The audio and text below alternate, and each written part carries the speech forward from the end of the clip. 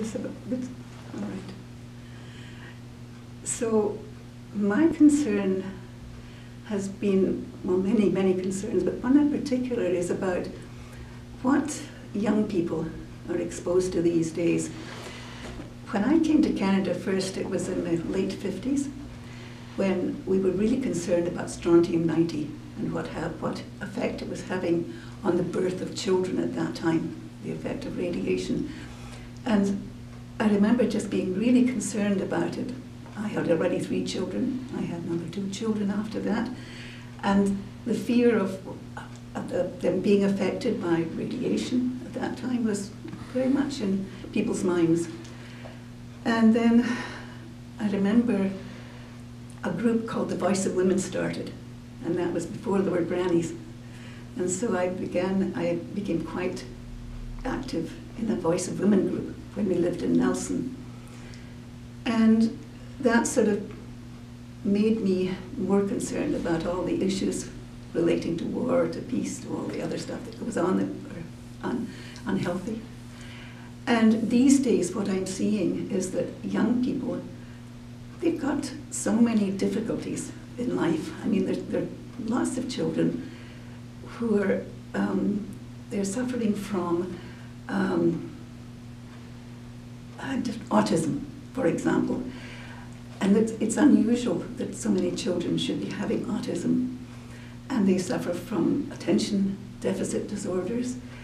And this, the, the, the education has to cope with this, which is not easy. And then I have one other concern, which is that uh, there's been at times when abortion was not available. And that became a big issue for me around the time that Morgentaler was being imprisoned. And so I remember joining with some other women who had experienced abortion problems and speaking out to a very large group of people in Vancouver to just let people know what it was like to have to deal with the problems because there was not abortion available easily. And I think every child should be a wanted child. And there it is. So being a granny, we have many, many issues we deal with, but my emphasis probably would be on that one, about some of the problems that are facing young children now because of the, our air is polluted. We have a lot of pollution to deal with.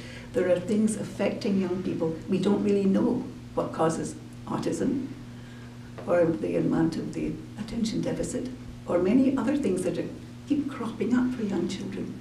That there's more cancer amongst young children. I never heard of this many, many years ago. I've just never heard of cancer in young people. It's amazing how many have it now. So we really, we are destroying the human race. And we need to do something about it. More than just supplying more education, more healthcare. We look at the big picture. We need to look at the big picture. So I don't know if that answers my concern about being a, a granny, but it's good to be able to talk to other people who are also aware of concerns. And I find it very supportive to be amongst a group of people that will do that and will go out and protest all the other things that we are dealing with here right now in Victoria. Hmm. So, is that enough?